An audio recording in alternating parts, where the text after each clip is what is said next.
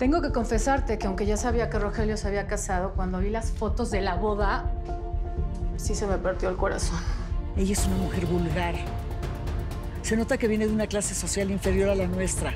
Si te quieres divorciar, siempre contarás con nuestro apoyo y lo sabes. Es que no sé cómo, cómo Paula puede tener a Rogelio comiendo de su mano cuando esa debería de ser yo, mamá.